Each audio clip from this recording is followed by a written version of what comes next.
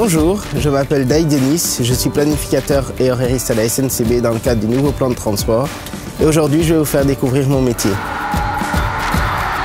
Je travaille sur le plan de transport depuis octobre 2010, donc ça fait à peu près 4 ans que moi et mes collègues nous travaillons sur la réalisation de ce nouveau service des trains.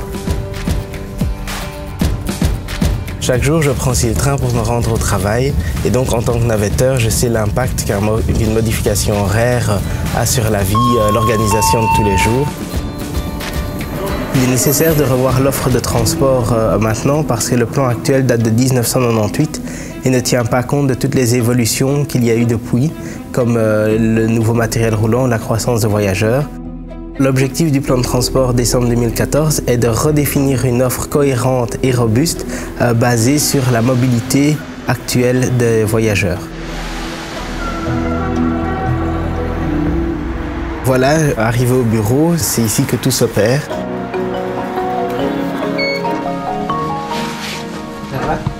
Ça va toi euh, nous travaillons sur le logiciel Veriato, qui est un logiciel d'optimisation et de planification qui nous permet de dessiner tous les trains sur l'infrastructure du réseau Infrabel et de constituer un horaire. À première vue, comme ça, toutes ces cartes, tous ces graphiques ont l'air compliqués, mais après quelques années euh, à, chipoter toute la journée euh, dans ce genre d'informations, finalement, ça devient aussi simple que lire le journal. Eh aujourd'hui, je travaille sur un cas spécifique qui est l'étude d'un sillon de réserve euh, sur la ligne 161, donc entre euh, Bruxelles et Namur, le vendredi soir, parce qu'occasionnellement, c'est une ligne sur laquelle on a des risques de suroccupation avec les étudiants de l'UCL ou de l'ULB qui rentrent vers chez eux pour le, pour le week-end. Eh bien, il est temps pour moi d'aller vérifier les comptages euh, avec le bureau de comptage qui relève les occupations des trains pour vérifier mes hypothèses. Bonjour à tous, vous allez bien? Bonjour. Le premier élément à déterminer, c'est le nombre de places assises à offrir à bord de ce train. Pour ça, nous avons les comptages qui sont récoltés chaque jour par les accompagnateurs de train, plus les données de vente qui sont récoltées chaque jour à travers nos guichets et euh, les départements de marketing and sales. Grâce à ça, nous pouvons savoir ou estimer combien de voyageurs sont à transporter à un certain moment. Alors, le plan de transport 2014 concerne tous les métiers au sein de la SNCB, certains depuis 4 ans, d'autres dernièrement, comme les conducteurs qui ont dû être formés pour les nouvelles lignes, le nouveau matériel, comme les accompagnateurs pour les nouveaux services qu'ils vont devoir effectuer, et tout comme dans les ateliers avec les mouvements de matériel qu'il peut y avoir d'un dépôt à un autre euh, prochainement. Et voilà, maintenant direction Infrabel pour euh, aller vérifier la faisabilité du sillon et voir si on a des matériels pour ce train.